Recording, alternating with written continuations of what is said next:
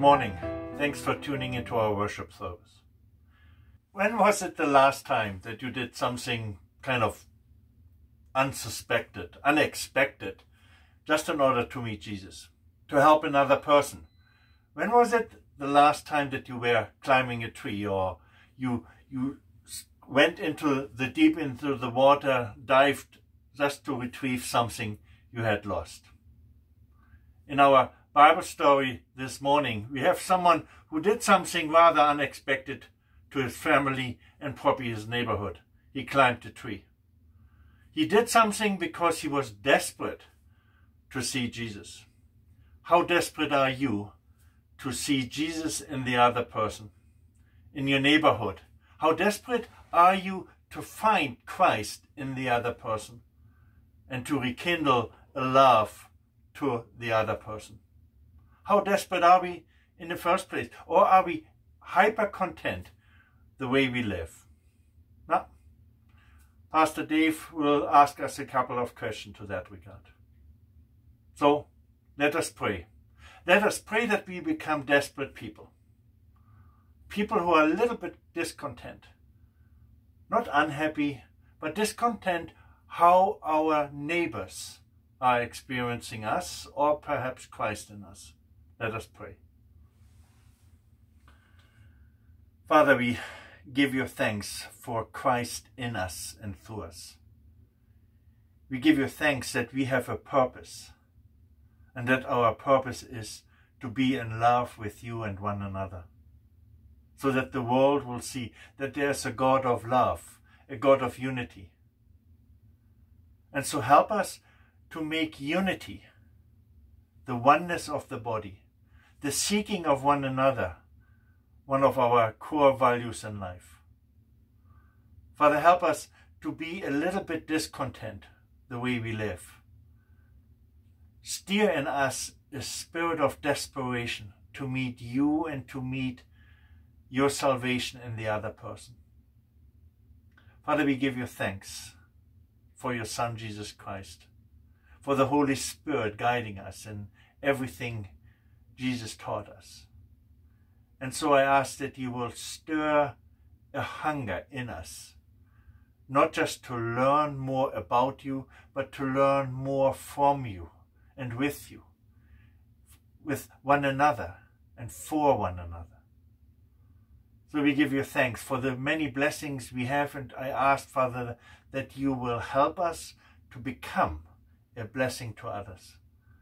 Not just with regard to money, but with regard to love, with, with a spirit of reconciliation and forgiveness, with a spirit of reaching out across the fences and the borders and the streets, the neighborhoods, nationalities and language.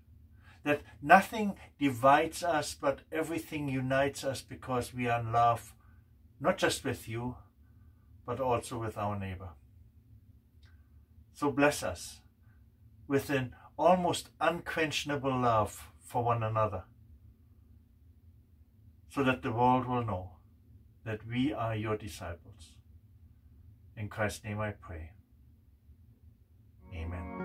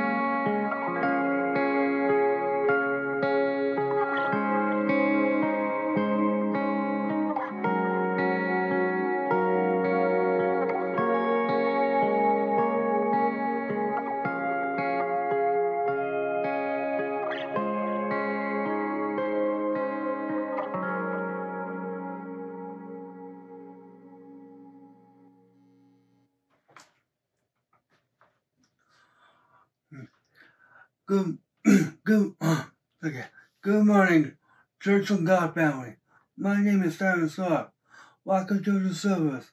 I hope you are all well. I look forward to see you and on again soon. God bless you.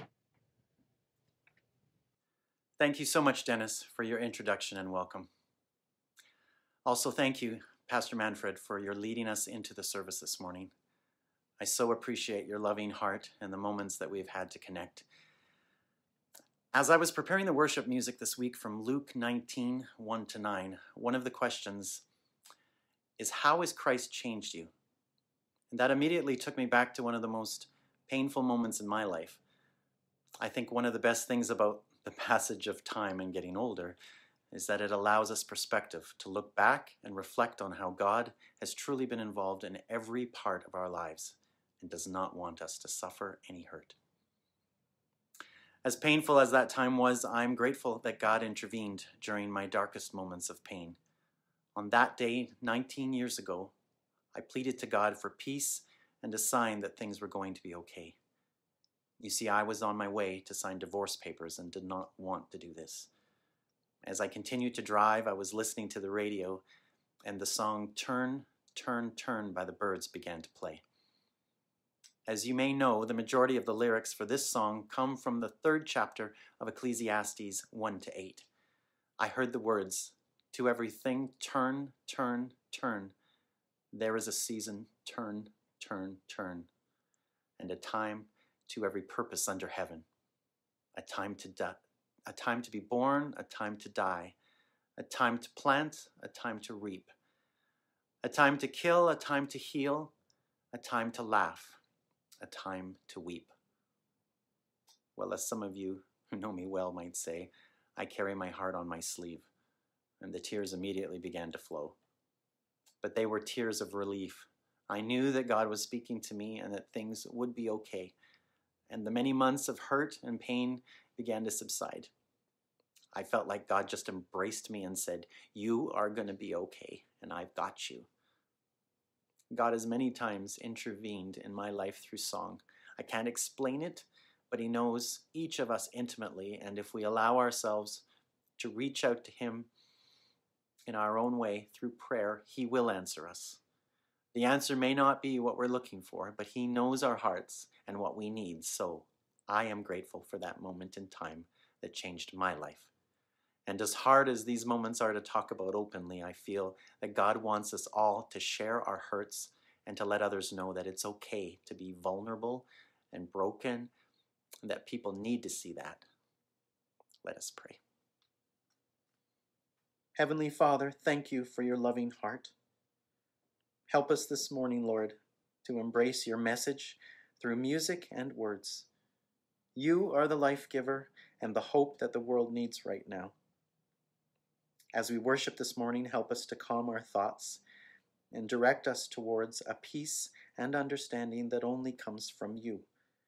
Help us, Lord, to leave the distractions and worries in our daily lives behind, and as we sing together from our homes, unite us as one body, committed to your message of hope, peace, and love. In Jesus' name we pray. Amen.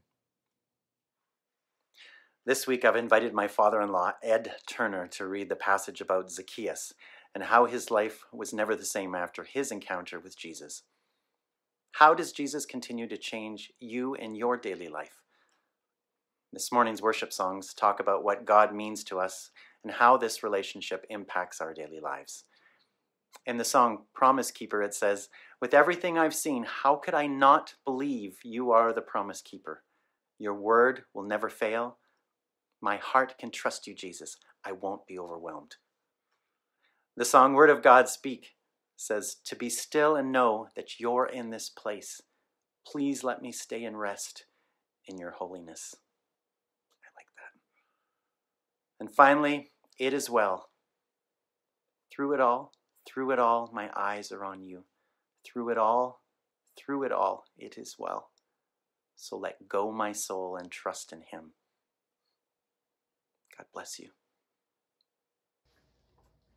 Good morning. I'm Ed Turner, and I appreciate the opportunity this morning to read a rather unique story from the life of Jesus, Luke chapter 19, verses 1 to 10. Jesus entered Jericho and was passing through. A man was there by the name of Zacchaeus. He was a chief collector, tax collector and was wealthy. He went to see who Jesus was, but being a short man, he could not because of the crowd. So he ran ahead and climbed a sycamore fig tree to see him, since Jesus was coming that way.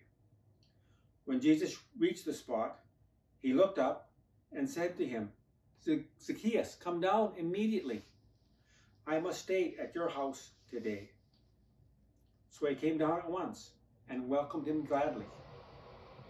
All the people saw this and began to mutter, He has gone to be with the guest of a sinner? But Zacchaeus stood up and said to the Lord, Look, Lord, here am I.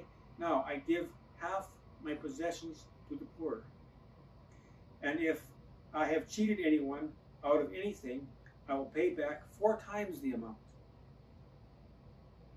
Jesus said to him, Today salvation has come to this house, because this man too is a son of Abraham. For the Son of Man came to seek and to save what was lost.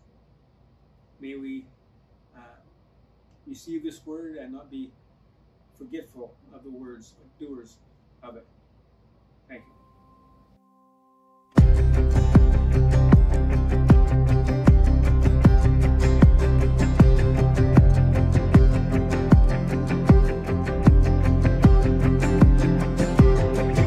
Your vows a covenant unbroken. You've made it known through history. Your love will never be unfaithful. Never walk out on me. Never walk out on me. I have no reason to doubt you. You have been, you'll always be. And though the future's still unfolding, with everything I've seen, how could I not believe? You are a promise keeper, your word will never fail. My heart can trust you, Jesus. I won't be overwhelmed. My eyes are gonna see miracles and victories. You are a promise keeper, and your word will never fail.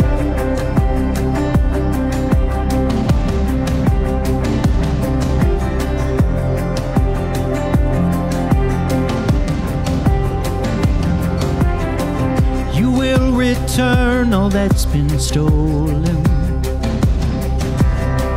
There's nothing that you can't redeem. And though the story's still unfolding, with everything I've seen, how can I not believe you are? You are a promise keeper. Your word will never fail. My heart can trust you, Jesus. I won't be overwhelmed. My eyes are gonna see miracles and victories. You are a promise keeper, and your word will never fail. I know your word will never fail.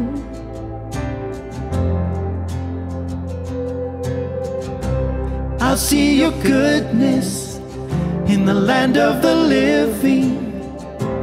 I'll see your goodness right here, right now. You know the ending before the beginning. I know that you have worked all things out. I know I'll see your goodness in the land of the living. Your goodness right here, right now. I will, you know the ending before the beginning. And I know that you have worked all things out. I know, I know you are a promise keeper. Your word will never fail. My heart can trust you, Jesus. I won't be overwhelmed.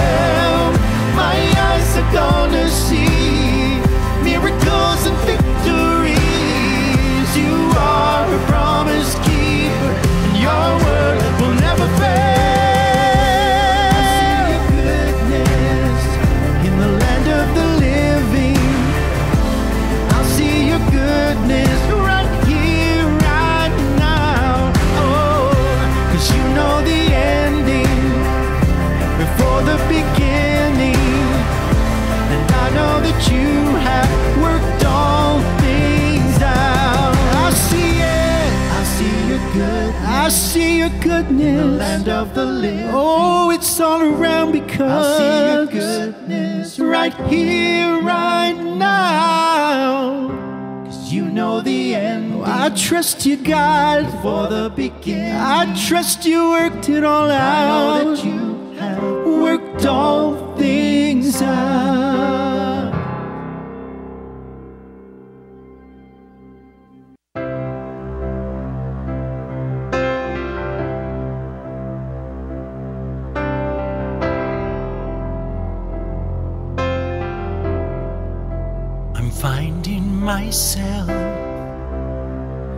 At a loss for words.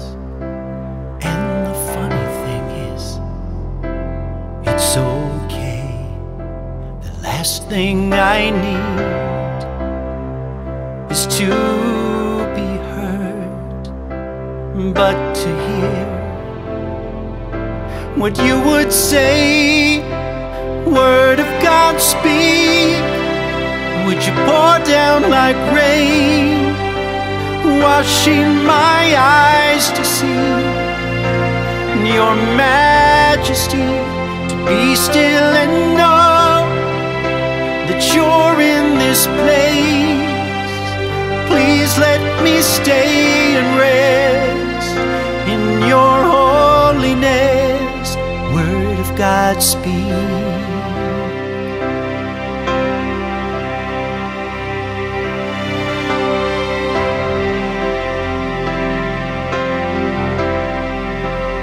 Finding myself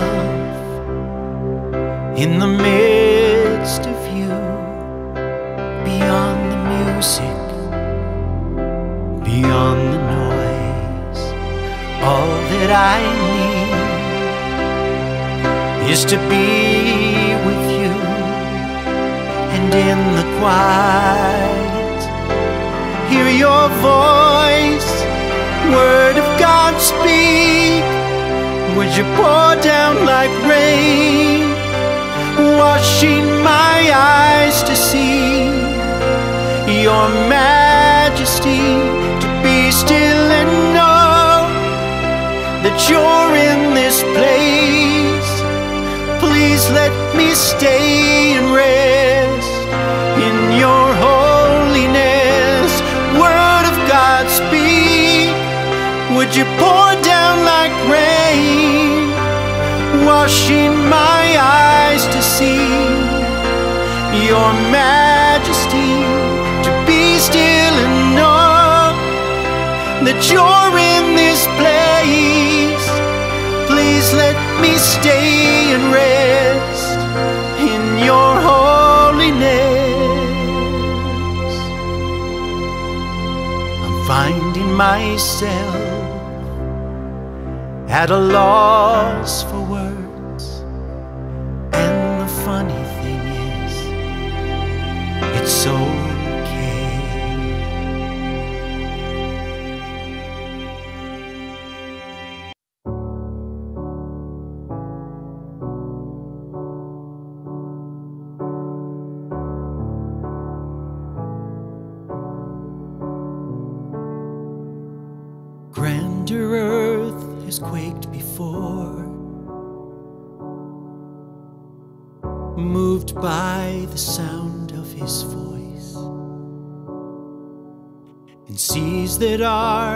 Shaken and stirred can be calmed and broken from my regard. And through it all, through it all, my eyes are on you. And through it all, through it all, it is well. And through it all, through it all, my eyes are on you, and it is well with me.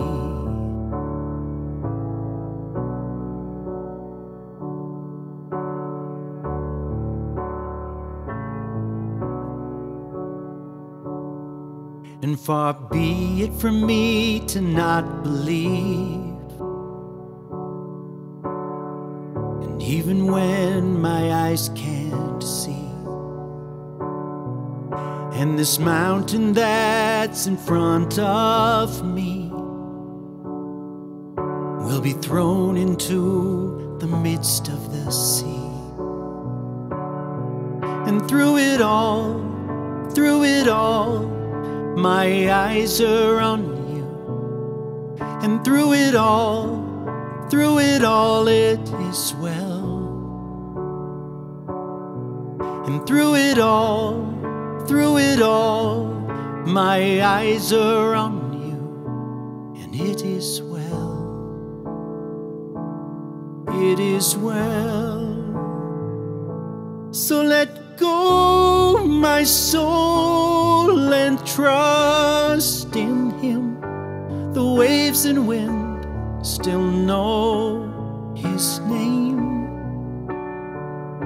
So let go, my soul, and trust in Him. The waves and wind still know His name. So let go, my soul, and trust in Him. The waves and wind still know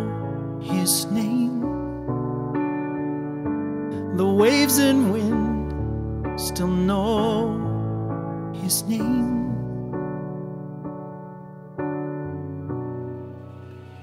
It is well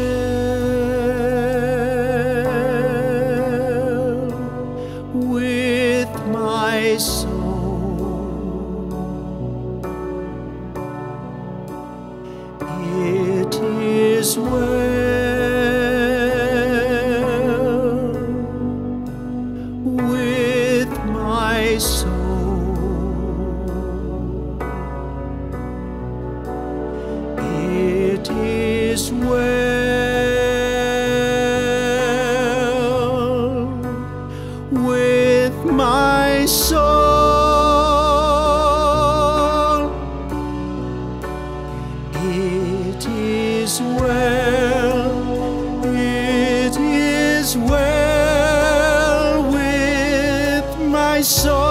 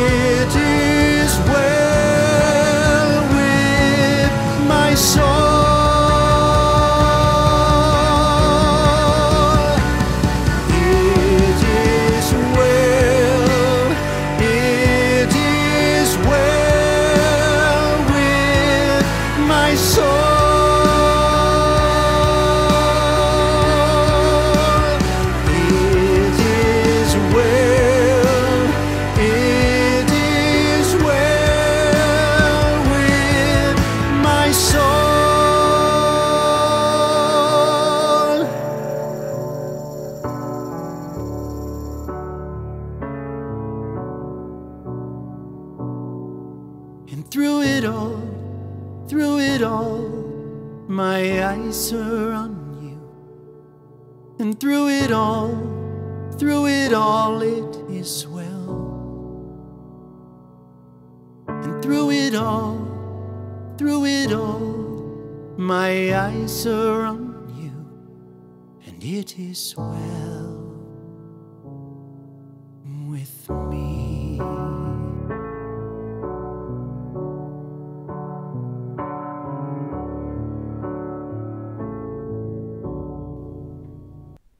Hi, friends. Uh, good to see you today. I wish I could say I could see you, but I can't. But uh, it's good that you're with us and that we are together today for this time of worship as well as uh, just listening to what God is saying to us in the Gospel of Luke. And so hopefully this time will be a good time of you being able to learn a little bit more about Jesus and a little bit more about his life and what he has taught us.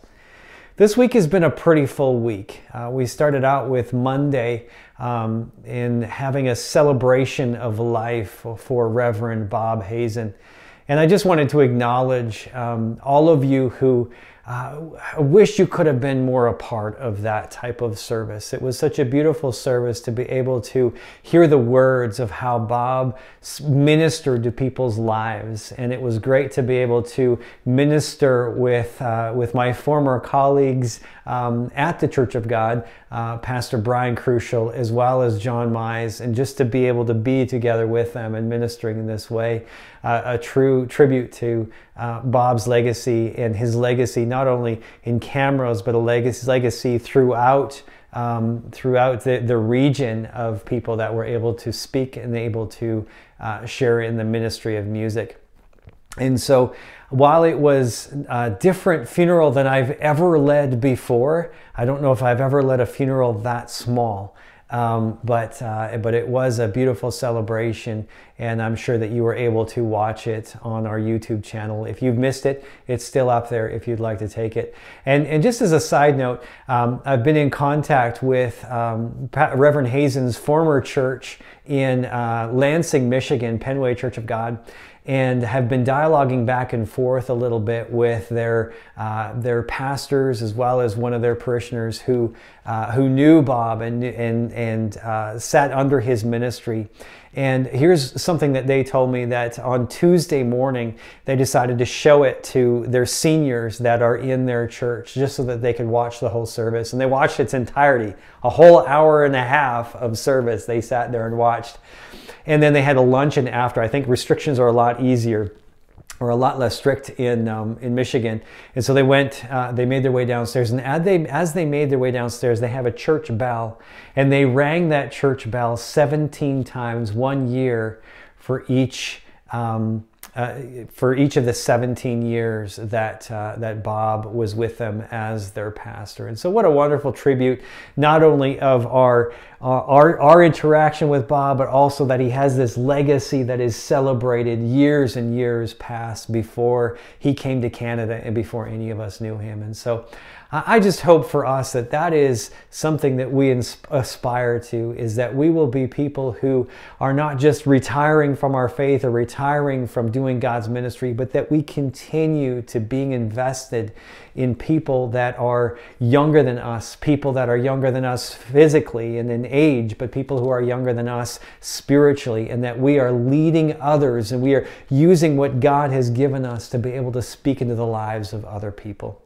So I just wanted to recap that and uh, and just to thank you as your transitional pastor for the opportunity to be able to lead that service and to be able to pay tribute to uh, one of the most special people in my life. Um, which would have been uh, Bob Hazen, as he mentored me throughout the years that I was with you. And even when I left, I would come back and spend some time with Bob and just uh, hear his wisdom and give, uh, as he would give me insight into uh, what it means to be a pastor and, um, and advice in some of the things I'm dealing with. Just wanted to uh, shift us now into a focus on our scripture this morning. Um, and uh, just to just to pause and to listen to what God's word is saying to us and how he uh, speaks to us through the story this morning of Zacchaeus, the tax collector, and how that applies into our lives and what Jesus is saying to each and every one of us through this story. Let's have a word of prayer together as we shift into that time of scripture reading and listening and teaching. God, we thank you so much for this opportunity we have to be able to be a part of this service in this way. And God, I thank you that even though we are scattered into our homes and even scattered into a different city, I live in a different city than my church right now. And God, I thank you that even though we are miles and miles apart, Lord, that we are gathered together as your body, worshiping you and listening to your words spoken to us. And I just pray, God, that you would uh, open our ears and our minds and our hearts to be able to hear your word for us today. I pray this in your name. Amen. Amen. So, just love this passage because it is so rich of being able to celebrate and see life change in fast forward.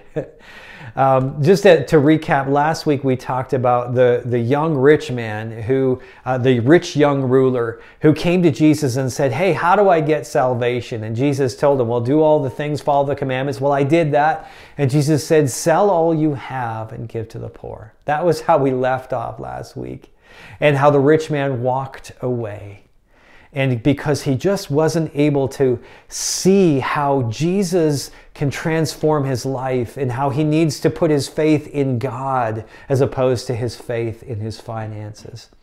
And so that was the challenge for us last week. And this week we've skipped a, we've skipped ahead a little bit because there was the the the um, if you read on in chapter 18 where we left off last time, we just talked about the um, the rich young ruler, but then there was also Jesus predict his, predicted his death a third time. So he's done it once, not once, but twice, but three times. Um, and then we also had the blind beggar who receives his sight from Jesus and Jesus' presence. And so those are powerful stories, those are powerful images that we could focus on, but I've decided to skip ahead a little bit.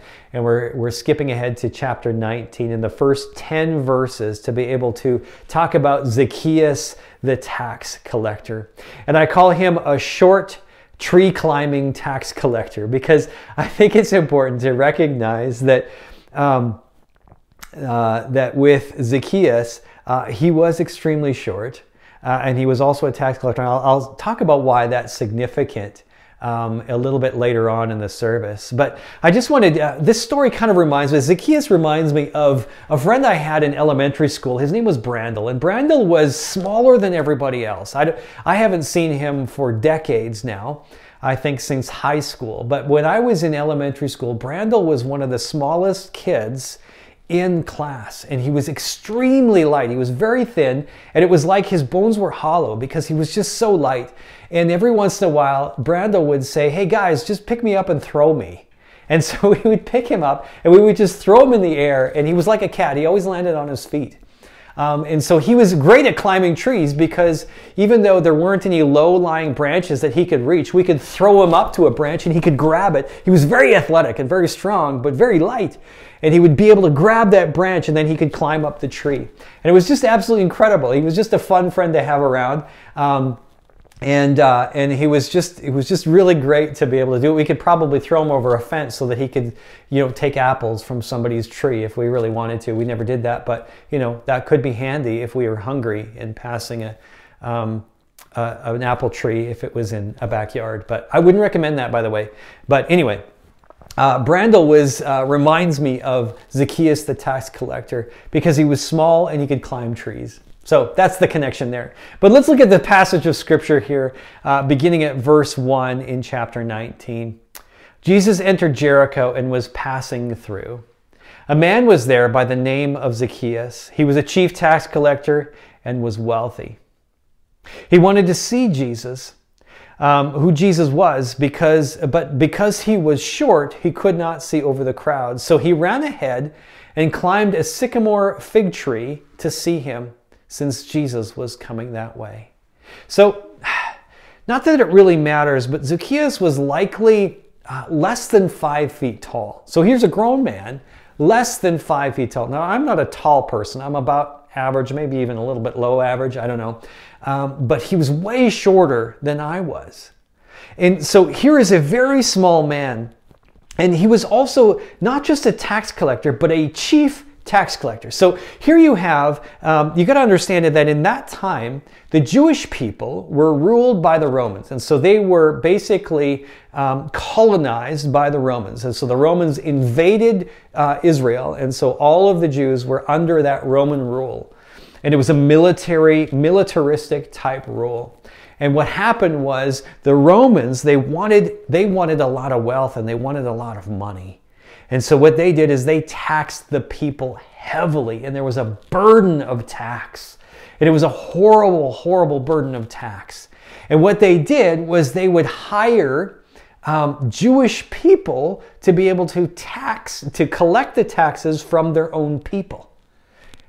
And so here, Zacchaeus was not only doing that, but he was like in charge of all the other Jewish guys who then collected taxes from the people. And so, so Zacchaeus was the one who took the money from the tax collectors and handed it over to the Roman government. And so this guy was despised. This guy was small, and it was probably a good thing he was small because he could like blend into a crowd and he could probably get away pretty easily. But Zacchaeus was this guy who was despised and had absolutely, he probably was despised by his family, he was despised by his people, and he was also despised by the Romans because they would never see a Jewish person as anyone of value. And so Zacchaeus was so alone and probably so ashamed at all of the things that he was um, told and all the things that he had been called. And so we have to understand that Zacchaeus had this desperation to see Jesus. He had a desperation to see Jesus, and he wanted so bad to have a relationship with Jesus. And, and the desperation we see is not only in the fact that he wanted to see Jesus and he was desperate, but he was desperate enough to humble himself to climb a tree. I don't know about you, but I don't see a lot of grown men climbing trees, unless it's kind of a sport thing or if they're with a bunch of other guys who dare them to climb the tree. But somebody who's alone, like I don't know if I've ever been alone in a park and decided, oh, I'm just going to climb this tree for fun. Or I'm just going to try to climb this tree to get a better view. Well, maybe I would. I don't know. Depends on the view, right? But for Zacchaeus, he was so desperate that he was willing to humiliate himself and to not just blend in the crowd, but stand above the crowd and be possibly seen by others as he's climbing this tree and making a fool of himself and making himself look ridiculous and standing out from the crowd, but he just was desperate to see Jesus. So let's look at what happens. When Jesus reached the spot, he looked up and said to him, Zacchaeus, come down immediately. I must come to your house today. So he came down and at once welcomed him gladly. All the people saw this and began to mutter, He, he has gone to be with a guest of a sinner. So here we see once again how hated Zacchaeus was. That he was, he was a child of Abraham, that he was he was one of the chosen Israelites, and yet he was despised by his people and labeled as a sinner. Now, I don't know about you, but I don't go around calling people, oh, you're a sinner, oh, you're a sinner, oh, that's a sinner, right? I don't do that. You don't do that but to people you respect or people that you like. But here, Zacchaeus had that label that he had to carry, and he was despised so much by the people. Let's look at verse 8. But Zacchaeus stood up and said to the Lord, Now, this is already, he's at the house and, and they're reclining for lunch. And Zacchaeus is impacted by Jesus, by his ministry, and by the words that he's saying. And Zacchaeus stands up and he says, Look, Lord, here and now I give half of all my possessions to the poor. And if I have cheated anybody out of anything, I will pay them back four times the amount. So here, Zacchaeus is admitting that he is corrupt. He is admitting that he does he has never cared about the poor. He's admitting that he has ripped people off, that he has cheated people, that he has charged them too much for their taxes. And yet he's saying, now I'm going to take everything I have, and half of it goes to the poor. And what I'm going to do with the rest is that if I've ripped anybody off, I'm not only going to double it, but four times the amount of what I've ripped them off. So here's a guy who's calculated in how he's cheated other people. He probably even wrote it down. But you see, now we have not only is Zacchaeus desperate to find and meet Jesus and to build a relationship with Jesus, but he realizes and recognizing that relationship with Jesus requires a sense of responsibility.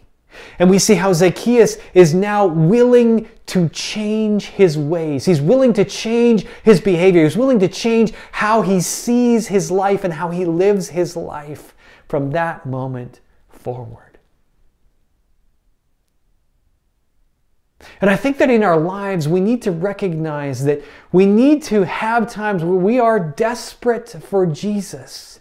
And we need to have times where we are willing to change the responsibilities and recognize the responsibility that we have because of the relationship that we're pursuing with Jesus. And that's something we talked about last week, didn't we? We talked about how we want a relationship with Jesus, and as we grow in that relationship, it increases our responsibility of how we act out and how we how we how we do uh, um, life and how we act out in life following Jesus. And the more we know Jesus, the more we want to take that responsibility that is put on us as children of God. So Jesus' response, he says, uh, Jesus said to him, Today salvation has come to this house. Because the man, this man too is a son of Abraham, so he's Jewish. For the Son of Man came to seek and save the lost. So he's saying that even though Zacchaeus was a son of Abraham, he was Jewish, but he was still lost in his sin. And he recognized that as as Zacchaeus wanted to desperate, desperately meet Jesus, he wanted to desperately be with Jesus. And how he's willing to, to change and he has that responsibility that, that but when both of those meet, that Zacchaeus is going to go a different way. And that when that relationship and that responsibility meet together, that life change happens. That instead of going a certain direction, that we, we just go a little bit of a different direction within our lives.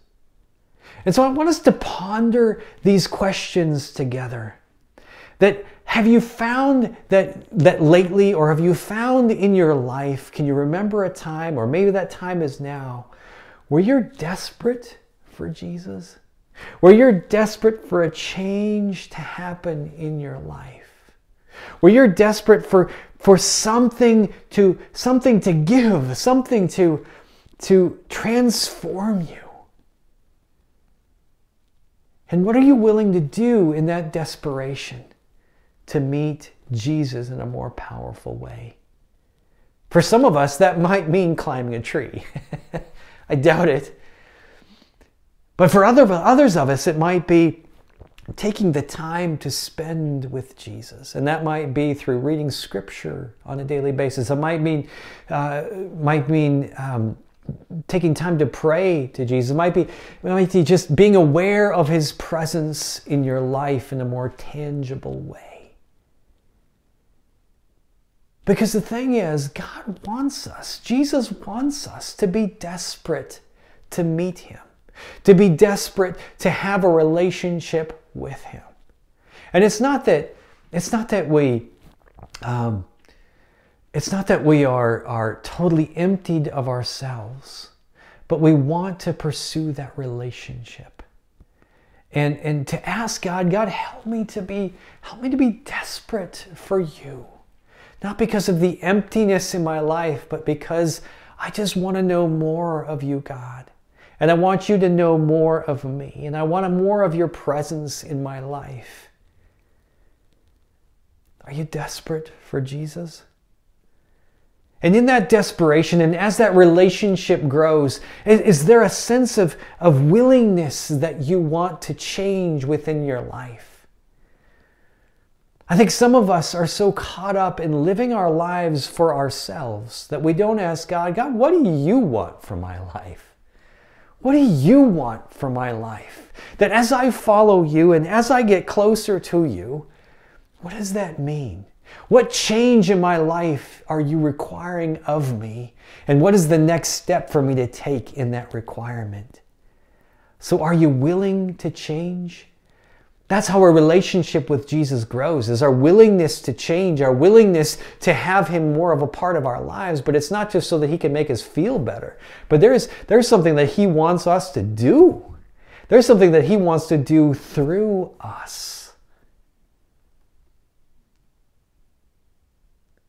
And then finally, are we like Zacchaeus later in this story that not only do we sense that responsibility, but we're willing to go a different way. And that means that we're not just changing our responsibility or changing what we do for a short time, but it's changing who we are. it's changing who we, what we do long term. Does that make sense? And there's that long faithfulness and that long term obedience that God wants us to have within our lives. That not only is it a one off where, oh yeah, I met Jesus and he changed my life a little bit and I changed for a while, but you know, this stuff, this stuff is pretty good over here and I think I've got it figured out. That's not what God wants for us. What God wants for us is that we meet Jesus is that we're desperate for Jesus and we build a relationship with Jesus and then we change our ways but then we just we don't just change our ways for a little time but we keep growing and we keep developing we keep learning and we keep we keep we keep building up on what God has given us and as, as I've reflected on on this passage of scripture as I've reflected on, on how I see discipleship and how we become fully devoted disciples of Jesus Christ. That we don't just become fully devoted disciples of Jesus Christ for a time, but for all of our time. And that, that as we grow, that we need to keep growing and we need to keep challenging ourselves and we need to keep moving forward. And it's not that we continue to have these polished and wonderful accomplishments with our lives. It's not about the accomplishments, it's about the faithfulness, isn't it? See, as we reflect on, on the life of someone like Reverend Hazen, um, his life was not spent looking for a whole bunch of recognition and a prominence and prestige. But his life was a long term obedience of faithful relationships that he built with people. And I think that that's a great example of someone who seeks to be like Jesus, right? And somebody who wants to be committed to discipleship. And I think that the question for us too is that, you know, as God has invested in you and others have invested in you, how are you investing in others? Because I think we need to be people who invest in other people. Are you investing in, in your spouse? Are you investing in your children? Are you investing in your neighbors? Are you investing in, in, uh, in your, your church ministry? Are you investing in other types of ministries throughout the community? Because God wants us to be participants in His kingdom, and He wants to do things through us as He does things uh, in us. So, hopefully, something in there was challenging for you today and uh, helped you to understand how the Gospel of Luke and how the ministry of Jesus speaks into our lives. Let's pray together. God, thank you so much for the words of your Son, for how he gave us the example, and how even the even the short tree climbing tax collector is someone who can be a tremendous example to us. And God, I thank you that no matter where we've been, no matter what we've done, that you give us your grace, your peace, your love, and, and your chance for us to be saved. And so, God, help us to be people who are desperate for you. God, who are willing to allow you to work in us, to change us. And God, that that change would help us to have long term change of following you and walking towards you in our lives. Thank you, God. Help us to do this as individuals, as families, and as a church. I pray this in your name. And may the God of hope fill you with all joy and peace as you turn to Him, so that you may overflow with hope by the power of the Holy Spirit. Thank you for joining us. I hope you have a great week. Uh, we'll see you again next week.